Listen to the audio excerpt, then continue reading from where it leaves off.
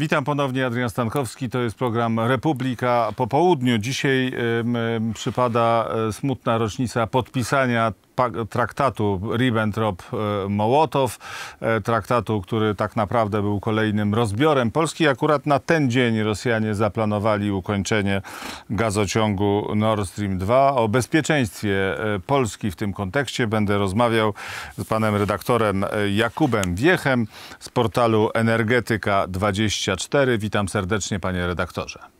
Dzień dobry Państwu. No właśnie, panie redaktorze, to e, celowe zagranie z tymi, z tymi rocznicami, bo przesunięto w końcu e, otwarcie tego, czy ukończenie tego gazociągu. Obawiam się, że na 17 września, co będzie jeszcze bardziej złowieszczą datą. Na pewno celowe, to znaczy nie wierzę, że te informacje, które pojawiły się w kilku różnych mediach, zarówno amerykańskich, jak i niemieckich, były e, suflowane z no, czystym przypadkiem. To znaczy to, było, mm, to było takie działanie Rosjan, które, którzy po prostu bardzo lubią sobie grać na takich e, resentymentach, na, na rocznicach, na pewnych e, analogiach historycznych. To się wpasowuje w to, co od dawna robią Rosjanie i, i widać to na wielu innych płaszczyznach, że ta polityka historyczna jest dla nich cały czas też narzędziem pewnej e, wojny informacyjnej i pewnego komunikowania e, światu, pokazywania swojej buty. Oczywiście mm, teraz e, z tej perspektywy patrząc wiemy już, że Nord Stream 2 nie został ukończony jako projekt konstrukcyjny z, wraz z rocznicą 82 podpisania paktu Ribbentrop-Mołotow. To ma związek między innymi z warunkami pogodowymi na Bałtyku. Natomiast nie jest wykluczone, że Rosjanie będą starali się wykorzystać inne rocznice, czy to właśnie 17 września, czy 1 września, jako też taki sygnał wysłany do Europy Środkowej, który ma no nieco pobudzić nastroje i, i, i zogniskować uwagę Europejczyków, zwłaszcza tych z centralnej i wschodniej części kontynentu, na tym projekcie, który w tym momencie jest już no, praktycznie e, ukończony.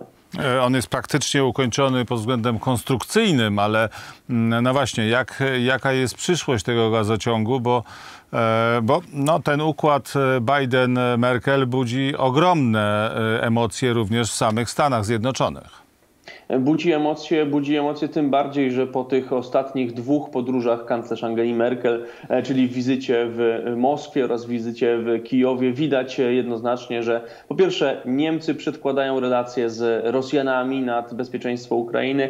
Widać też, że Niemcy nie są gotowe do tego, by stać na straży bezpieczeństwa ukraińskiego. Nie mają instrumentów ani też chyba woli politycznej ku temu. A to jest przecież jedną z e, konkluzji tegoż porozumienia zawartego między Amerykanami Amerykanami a Niemcami, które stanowi, że w razie jakichś e, działań, które będą wykorzystywały gaz e, tłoczony przez Nord Stream 2 jako broń polityczną, Niemcy mają podjąć działania na szczeblu zarówno krajowym, jak i unijnym. No, czy takie działania zostaną podjęte? Moim zdaniem, jeżeli Niemcy chcieliby być uczciwi w tym względzie, to takie działania zostały, powinny być podjęte już w tym momencie, kiedy zostanie uruchomiony Nord Stream 2, gdyż ten gazociąg sam w sobie jest bronią polityczną.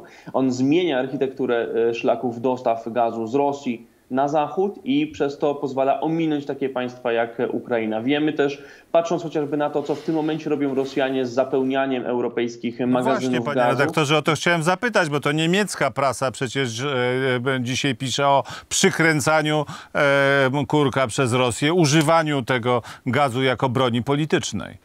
Oczywiście to jest celowe działanie Rosjan i e, Rosjanie tutaj faktycznie przekręcają ten kurek, starają się, żeby e, Europa zwróciła uwagę na problem zaopatrzenia w gaz, starają się e, zasygnalizować, że Europa sama nie jest w stanie zaspokoić swoich potrzeb w zakresie błękitnego paliwa i potrzebuje do tego Rosji oraz jej ogromnych zasobów tego, tego surowca. I to działanie jest również skorelowane z, właśnie ze sprawą Nord Stream 2. To jest trochę takie działanie metodą faktów e, dokonanych, metodą podkreślania e, donośności, znaczenia tego e, rurociągu dla bezpieczeństwa energetycznego Europy. Rosjanie od bardzo dawna właśnie w tę narrację uderzają, to znaczy chcą wmówić Europejczykom, że potrzebują Nord Stream 2, żeby byli bezpieczni energetycznie. To nie jest prawda. Ten sam, ten sam wolumen mógł być tłoczony poprzez system już istniejący, ewentualnie można by lądowe systemy rozbudować i w ten sposób znacznie taniej, prościej i szybciej e, doposażyć Europę w nowe wolumeny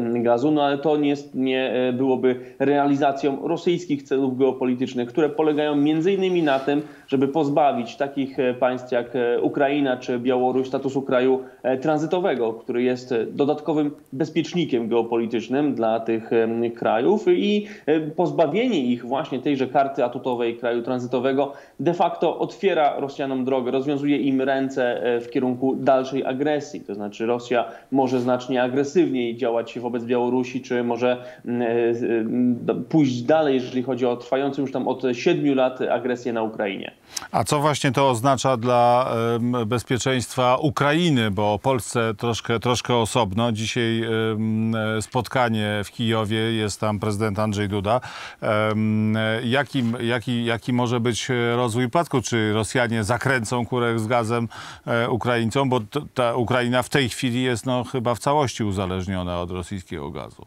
E, Ukraina nie kupuje bezpośrednio gazu od Rosji już od 2015 e, roku. Ona go kupuje z e, rynku europejskiego, co jest właśnie też jakby krokiem w kierunku porzucenia związków ekonomicznych z Rosjanami. Natomiast no, jeżeli spojrzymy na to, jak wygląda w tym momencie sytuacja Ukrainy jako kraju tranzytowego, to wiemy, iż państwo to jest zabezpieczone jeszcze przez najbliższe trzy lata mocą umowy tranzytowej, jaką podpisała Ukraina z Rosją w roku 2019. E, ta umowa zawiera klauzule, które sankcjonują innymi to, że nawet jeżeli Rosjanie wycofaliby swój tranzyt gazu z Ukrainy, to i tak muszą za niego płacić i e, wiemy, że, że Ukraińcy są w stanie ewentualnie egzekwować e, te należności przed trybunałami arbitrażowymi, bo tak już nieraz było w historii relacji ukraińsko-rosyjskich. Natomiast problemem będzie to, co nastąpi po 2024 roku. Problemem będzie to, jak będzie wyglądała sytuacja Ukrainy właśnie za następne e, trzy lata, kiedy wygaśnie ta umowa.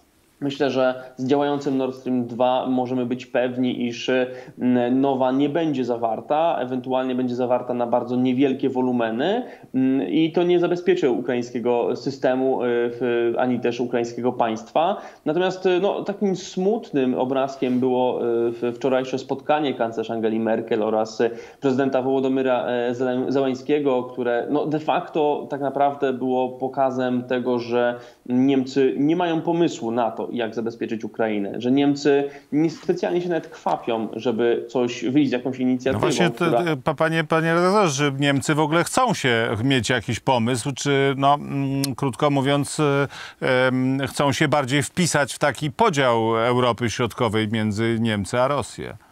Niemcy przede wszystkim nie mają interesu w tym, żeby bronić Ukrainy, żeby wspierać to państwo e, w, w, ramach pewnego konfliktu z Rosją. To znaczy Niemcy się doskonale dogadują z Rosjanami i Nord Stream 2 jest tego najlepszym przykładem, ale można tutaj wskazać też inne mm, e, umowy gospodarcze, jakie były zawierane między e, spółkami czy, czy Ministerstwem Gospodarki Energetyki Niemiec a stroną rosyjską. Natomiast patrząc na właśnie to, co słyszeliśmy wczoraj w Kijowie, no to uderzyło mnie między innymi właśnie to, że e, ta wizyta była pozbawiona zupełnie jakichkolwiek konkretów. E, spodziewano się, iż kanclerz Angela Merkel przywiezie pewne rozwiązania, przywiezie pewne bezpieczniki, przywiezie też pewne rekompensaty e, dla Ukrainy za e, uruchomienie gazociągu Nord Stream 2. Nic takiego się nie stało. E, co więcej, Ukraińcy musieli się liczyć z tym, że niemiecka kanclerz odwiedza ich tuż po spotkaniu z e, prezydentem Władimirem Putinem. To jest o tyle niezręczna sytuacja, że no wygląda tak, jakby kanclerz Angela Merkel odbierała instrukcje, czy dyskutowała najpierw z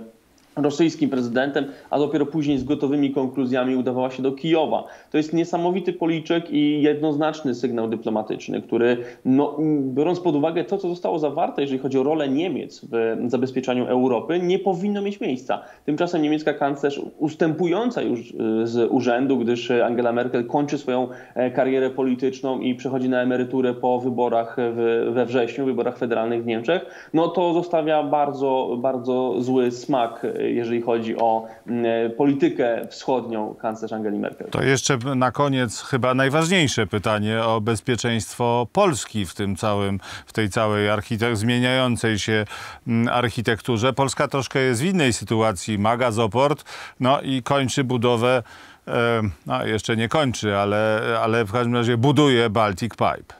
E, tak, no można powiedzieć, że Polska się niejako przygotowała na pewne zmiany architektury dostaw e, w Europie Środkowej. Mamy faktycznie działający gazoport, który w tym momencie jest rozbudowywany. Mamy e, budowany gazociąg Baltic Pipe, mamy plany kolejnego gazoportu, mamy plany w zakresie zwiększenia własnego wydobycia ze źródeł niekonwencjonalnych, czyli chociażby pozyskiwania biometanu. To są wszystko dosyć konkretne rzeczy, które realizujemy na rzecz podnoszenia naszego bezpieczeństwa gazowego. Natomiast warto pamiętać, że no nie jesteśmy samotną wyspą i kryzysy, które dotkną naszych wschodnich sąsiadów, czy to Ukrainę, czy Białoruś, w pewnym y, mniejszym lub większym stopniu będą odczuwane również w Polsce. No, namiastkę tego mamy w tym momencie na naszej granicy z Białorusią i można y, odczuć, jak istotnym tutaj jest to e, impulsem, jak pobudza polską debatę. E, no, trudno mi sobie wyobrazić, co by było, gdyby faktycznie Rosja uznała, że po przerzuceniu tranzytu gazu, chociażby z Ukrainy na Bałtyk, e, będzie ona dalej agresywnie narzucać swoją politykę Ukrainom, Ukraińcom, czy nawet zdecyduje się na właśnie wejście w głąb państwa ukraińskiego. Tego niestety nie można wykluczyć. To jest obawa, którą wyrażają różni eksperci, którzy, przed którą przestrzegają też media i mam nadzieję, że to nie dojdzie do skutku. Nie, niestety nie możemy tego wykluczyć. A czy możemy pomóc Uk Ukrainie w dostawach gazu w, w tym aspekcie wyłącznie? E, w tym momencie tak naprawdę jesteśmy dla Ukrainy pewnym naturalnym korytarzem dostaw, jeżeli chodzi o chociażby e, gaz amerykański, czyli głównie gaz skroplony, e, który ma trafiać do, do, do Polski. I tutaj jesteśmy no, widziani przez Kijów jako naturalny partner i dowodem na to, że, że jesteśmy blisko, jeżeli chodzi o te relacje międzypaństwowe, jest obecność prezydenta Andrzeja Dudy dzisiaj na szczycie Platformy Krymskiej. Wysłaliśmy tam naszego prezydenta. To jest dobitny dowód na to, że cenimy sobie relacje z ukraińskim e, partnerem. No dla porównania Niemcy wysłali tylko ministra gospodarki i energetyki, co również umiejscawia w, pewnym, e, w pewnej kategorii relacje e, ukraińsko-niemieckie, czy raczej to, jak widzi te relacje Berlin. Niestety Stany Zjednoczone wysłały bodajże e, sekretarza do spraw transportu. To też nie, najwyższa, nie najwyższy szczebel takiej wizyty. Panie redaktorze, z przykrością muszę stwierdzić, że czas naszego spotkania dobiegł końca. Bardzo serdecznie e, dziękuję za tę rozmowę. E, gościem programu Republika po południu był redaktor Jakub Wiech z portalu Energetyka24. Kłaniam się panie redaktorze. Dziękuję, Państwa zapraszam na krótką przerwę.